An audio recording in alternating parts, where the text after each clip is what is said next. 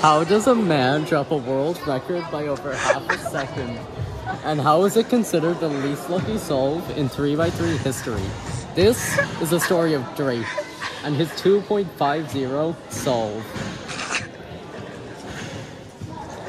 Cue music. Bong.